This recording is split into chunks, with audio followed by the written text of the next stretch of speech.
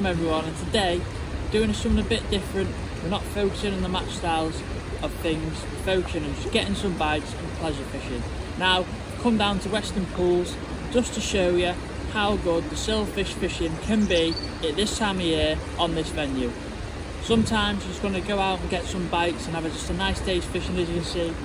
The weather's nice today, it's clear, it's still, it's not too cold, so we should get some bites. So let's get over to Jack's Pool now, which we'll be fishing, and get some fish caught.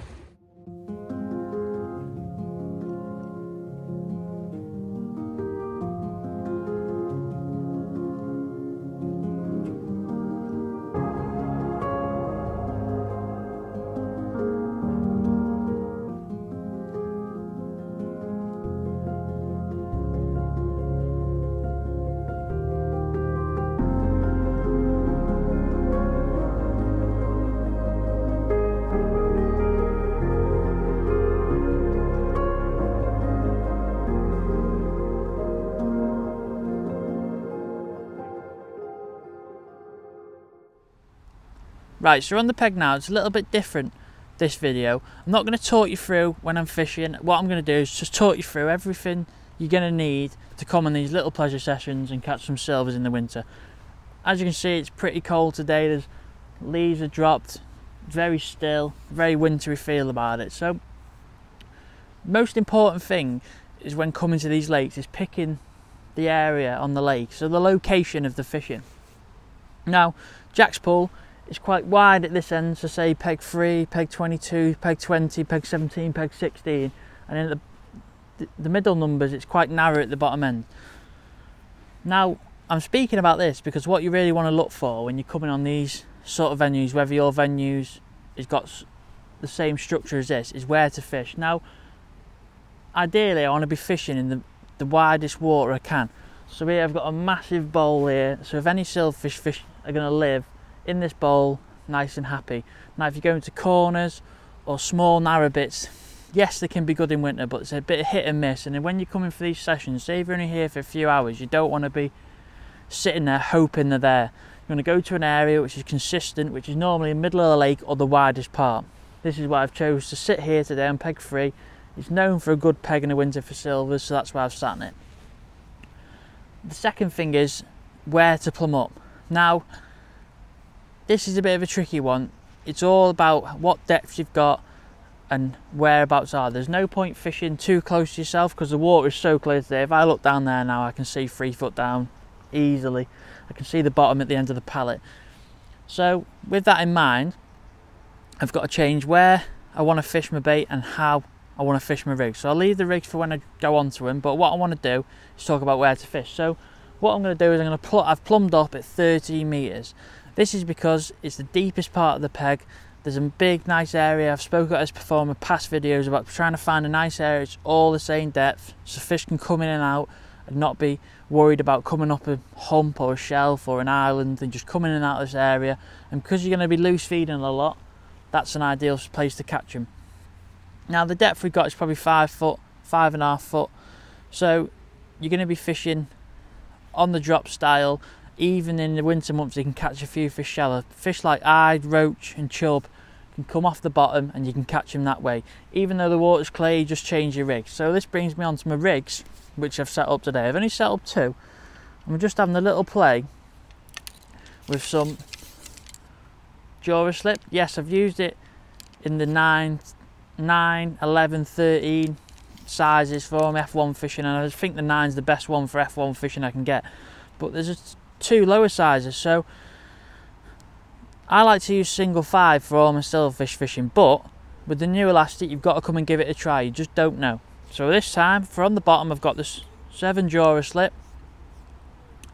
So this is just on the bottom is a bit more, bit stronger, so I can set that hook.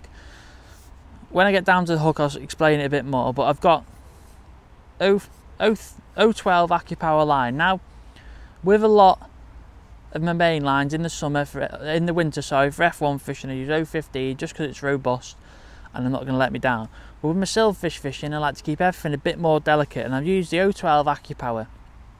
It's just a nice line, it's still robust, it's nice and supple, you can get small little shots on, nice and easy, don't damage the line too much. So that's what I like to use for all my sailfish fishing rigs. And I've just got a number eight back shot. Spoke about this thousands of times before. When you flick your rig in, you want it to arc over and you want your back shot to control that float. So that's why I've got that. Now, there's two sort of floats that I like to use with silvers, and that's the F1 Fine or the Chanty. Now, there's two different situations I like to use that.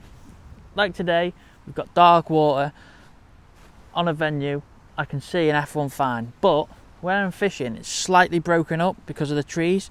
Now, with an F1 Fine, I'd be able to see it, but I'd be trying really hard to see it. So all I've done is I just like to use a Chanty, just because it's got a bit of, bit of a thicker top, because it's a cane top and it's really visible. So when I'm dotting it right down, I can see it. That's the reason why I've got that. in a 4x14, this is just because of the depth of water. If it's really still like today, I'd probably get away with the 4x12, but I've just gone with the 4x14 because the fishing can be really good sometimes. You want to get your bait into that area where the fish are. Now, sliding down my rig, I've just got that through a short kit as well, and short number three. Just so when I lift them up, the fish can net, net them nice and easy and get them fish in the net. Now this is just down to a bulk, number five, number eight. This is just because I want my bait straight down. I don't want too many shot on there. If I had number 11s, I'd have probably have six to 10 number 11s. Well, the number eight's only got five on there, so it's nice and neat. And then going down, I've got two number 11s. This just creates a nice slow fall on the rig so you can get them fish where they're feeding on the drop. Because with silvers, you're feeding with a catapult a lot, you're lifting your rig out, laying it back in, that's what you want. You want a nice slow fall in the bottom half. And then finally, the last thing is I've just used an SFL size 20 straight off the rig stick onto there.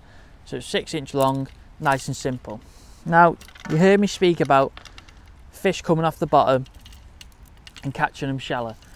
Don't get me wrong, some days they don't, but some days they really do come off the bottom, and this is why I've set this rig up. On this one I've just gone a bit lighter I've gone a five Dura-Slip a little Dacron it's actually the rig I used the top kit I used the other day when I last kitted two top kits this is the one I used. I've just got a back shot there number 8 again.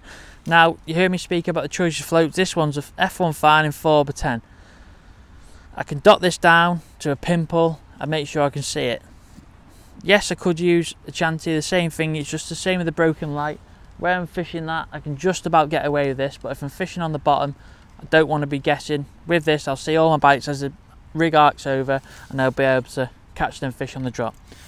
Same again, just a strung bulk, probably three three inches apart down there. Number 11's them, the same hook as the last one, a 20 SFL, straight off the rig stick. So it just makes it nice and simple. But that's a nice setup. You're not going to bump and lose fish, but you're going to get every fish you land in. So there are a few little rigs I've set up today. Now you're going to probably ask bait. Now all I've done today is brought some maggots. Don't get me wrong, you can catch fish on casters, pinkies, ground bait. But I'm going to touch on ground bait in a second. But maggots, just with a quick session, I've literally got a pint from the shop, £2.50, straight in my bucket, well my tub, and I'm fishing straight away. It's nice cheap if you had an afternoon spade, just come down. So I've got some nice red maggots there. Now I'm going to touch on how, how you're feeding. What I like to do is I like to feed either loose feed or with some ground bait. Now if there's a lot of skimmers in here, say 10 ounces, 8 ounces to a pound, 2 pound, I'd look to feed some ground bait. But there is some skimmers in here, but there's not a massive head of them where I'm going to catch a massive volume, say 20, 30 pound of them. So I don't really want to target just that because if I feed some ground bait I'm going to put off fish like ide, chub, even the odd roach if I put some fish meal ground bait in so I'm reducing the chances of that. So what I've done is I've just kinder potted a few maggots in, probably 50 and I've just loose fed over the top. This is because I want to draw fish in all the time and fish like ide, chub and roach all follow your bait down. They all watch it for the water with it being so clear. I find that's the best way to catch them. So I'm going to get some fishing done now but I hope them little tricks and tips and nice little way of setting up your rigs can get you a few more bites on your pleasure sessions this winter. If you haven't been down to Weston before, I'd highly recommend coming on one of these lakes if you just fancy a few bites in the winter months. It can get bitterly cold, them carp stop feeding, but you can still catch a lot of fish on these commercials. So I hope you enjoy the video.